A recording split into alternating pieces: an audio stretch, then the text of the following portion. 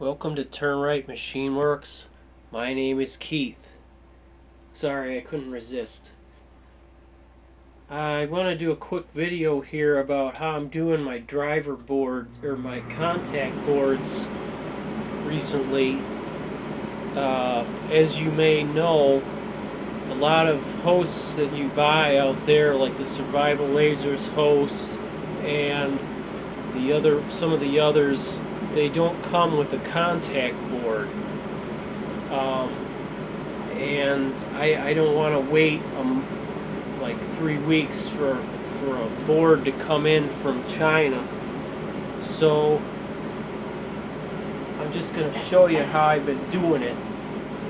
I made a little mandrel here with a 440 screw uh, tapped in the end of it and I just cut a clearance hole in the uh, in the circuit board where I want it.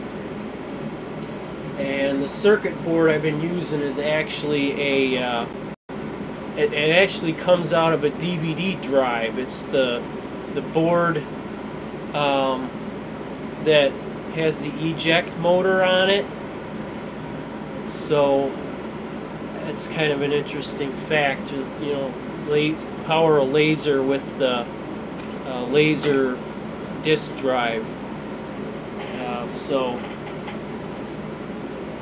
to now when it's when you first get your uh, piece out here what I do is I score a line on both sides of the board and then I snap where I want my piece to cut off at and then I drill this the clearance hole for the number four screw and mount it up in my lathe and then what I do is I take a razor blade and my cutoff tool here is mounted uh, the wrong way.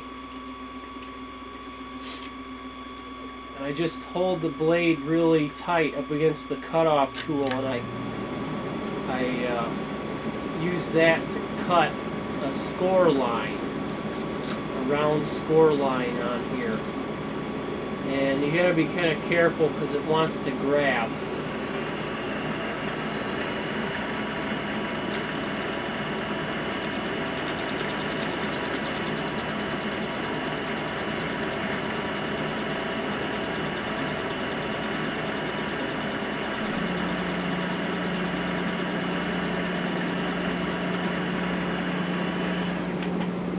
now I'm satisfied with that, I'll take it now I'll flip it over. I was going to show the making of this mandrel here, but I, it kind of got away from me and I didn't have time to do all that. So, alright, now we have it mounted in the other way. And we're just going to take our our parting tool and put it back approximately where it was and do the same thing now on the other side of this board. It'll be in about the same spot it doesn't have to be perfect.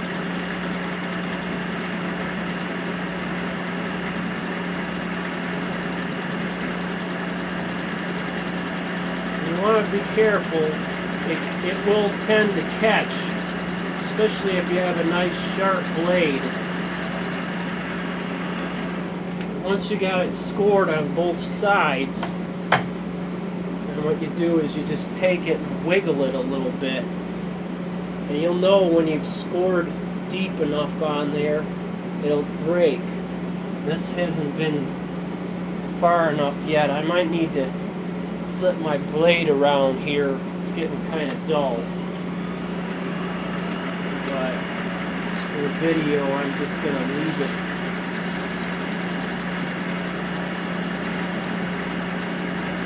You'll know when it's cutting because you'll see the fur flying.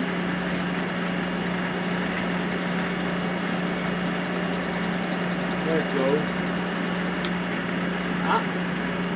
See it caught and it unthreaded this is a right hand thread And I'm running, oh, I forgot to mention I'm running the lathe in reverse.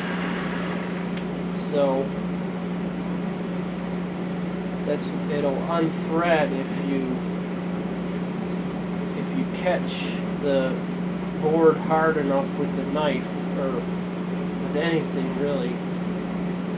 You can see there I cut it off. I snapped it with the pliers.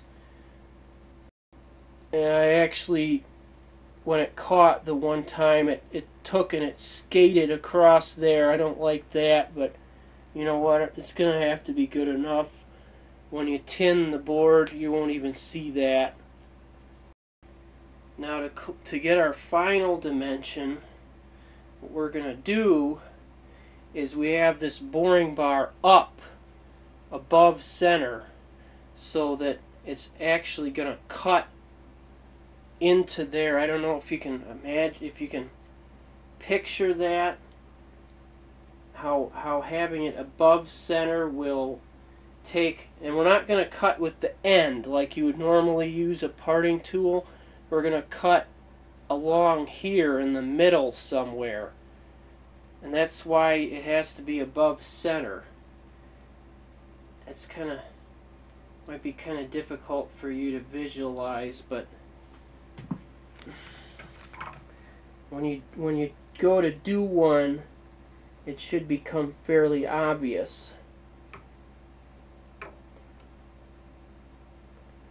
So we get this back in here take my key for my chuck and use it to hold the chuck still while I tighten the screw. Okay. Now I'll show you what I mean. We're going to pull that, take that out a little bit with my cross slide and then we're going to go over here and right here along the side here is actually what's going to cut. So engage the threads here. I don't have a carriage lock one of these days. I'll have to get it. We're still running in reverse. You can do it forward too, but you'd have to go on the back side. At least with this um, way this lathe is, the way this mini lathe works, it it uh, cuts with the uh, cu uh, parting tool upside down and with the lathe in reverse, even normally parting, uh, it's just the way it works. So get that get your lathe going, and then we're gonna just feed in with the cross slide, and it'll cut. It'll begin to cut. You'll see. You want to avoid. You're trying to avoid an interrupted cut because that will take your uh, screw and and, and uh, unscrew your, your board like you just saw. So start slow at first until you get a good um, continuous cut. Actually, you know what? I'm going to feed this in even more just so we get up close. We want to get up close to the uh, tool here to the to the tool rest, the tool holder.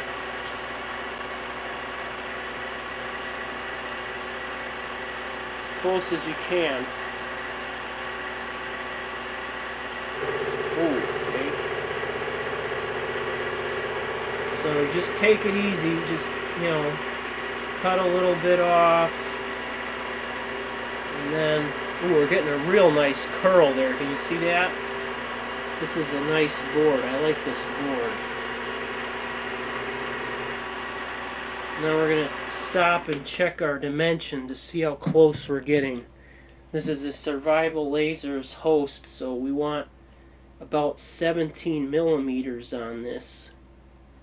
Maybe just a tad, a shy under 17 right now we're at 22 so we got a little ways to go yet 196.8 thousandths so we want to go in half that because don't forget on the lathe and I made this mistake several times in the past few days because I'm still a beginner with this thing.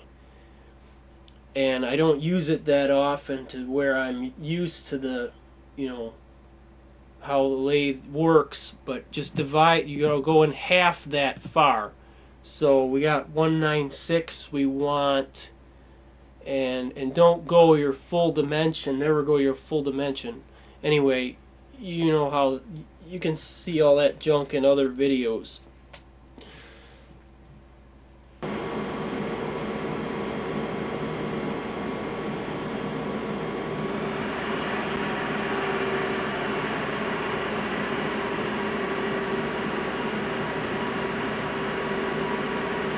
amazing how fast you can feed with the soft material like plastic or whatever the circuit board resin is made of. Some resin composite circuit board probably. Okay, that's 40, 50, 60, 70, 80, 90, five. See where we're at here.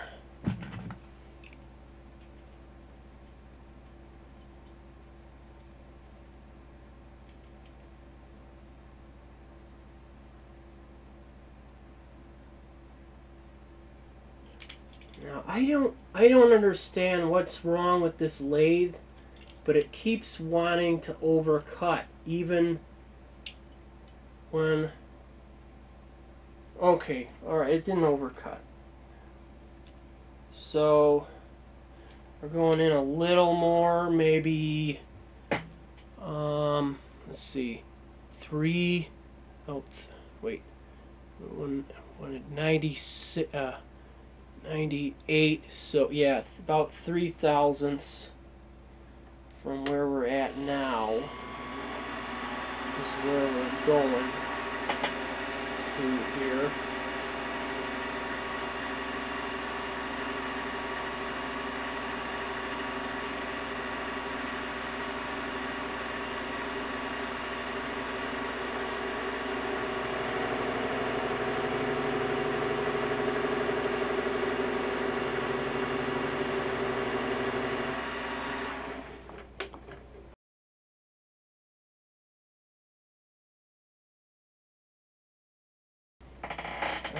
Really oh this is this is a fiberglass board is what this is.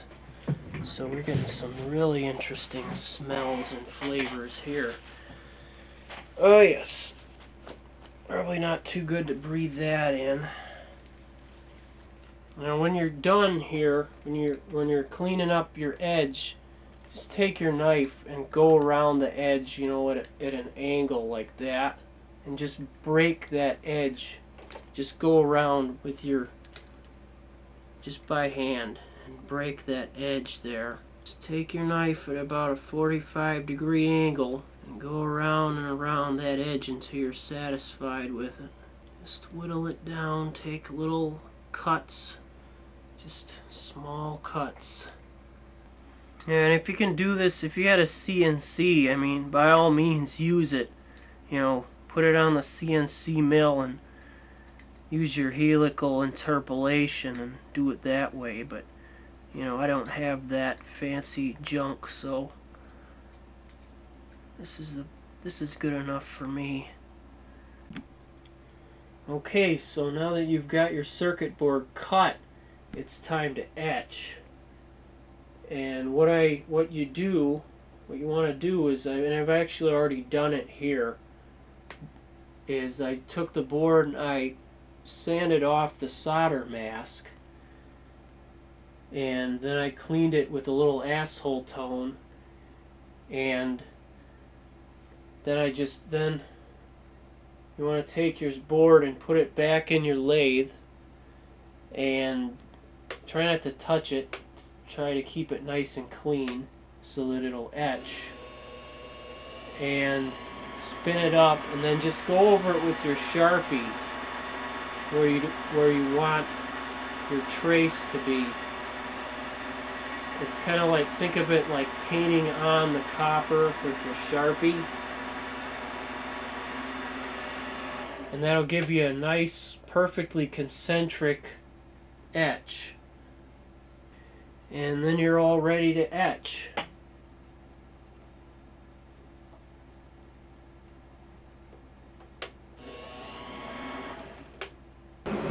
So I hope this helps someone out there.